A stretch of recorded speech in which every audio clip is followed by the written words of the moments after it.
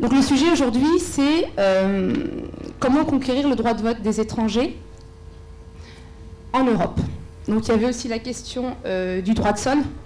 Moi, je vais euh, surtout rester focalisé sur le droit de vote des étrangers, même si c'est intimement lié. Parce que souvent, les gens qui sont contre le droit de vote des étrangers vous rétorquent le fait que le droit de voter n'est que pour les Français ils n'ont qu'à être français.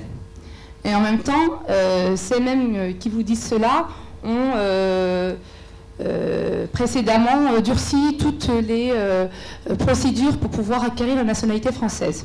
Mais il y a eu quand même des initiatives faites au niveau de l'Europe. Là, par exemple, j'ai avec moi, je ne vais pas trop tarder. ici, j'ai en fait la convention sur la participation des étrangers à la vie publique au niveau local, qui a été votée par le Conseil de l'Europe en 1992.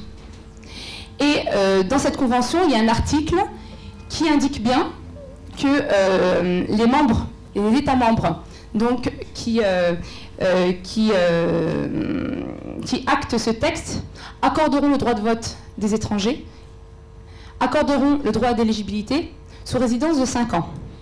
En même temps, euh, il a donc été voté par le Conseil de l'Europe, mais il n'a été ratifié que par huit pays. Et encore, même ceux qui ont ratifié euh, cette convention-là euh, peuvent ne pas appliquer l'article 6.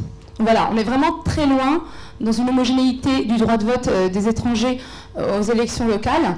Et vu les combats, vu les luttes qu'on mène dans chacun des pays, et en plus ce qui est encore vraiment une différence, c'est que dans chacun des pays, le met en place en fonction de sa législation.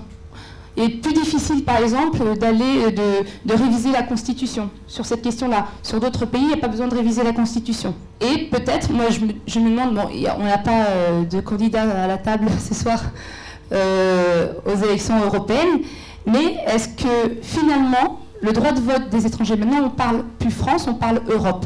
Est-ce que le droit de vote des étrangers, finalement, ne viendrait pas plus de l'Europe, où on aurait une ratification, comme on l'a eu pour le droit de vote des étrangers communautaires euh, dans le traité de Maastricht, où tous les pays qui l'ont ratifié ont eu l'obligation de pouvoir euh, l'appliquer? Et pour vous dire, en France, ça n'a pas été facile.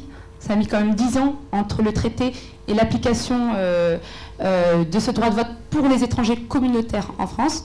Mais je pense que l'espoir peut-être viendra de l'Europe où finalement tous les pays de l'Union européenne accorderont le droit de vote des étrangers dans les mêmes euh, conditions. Voilà, je remercie.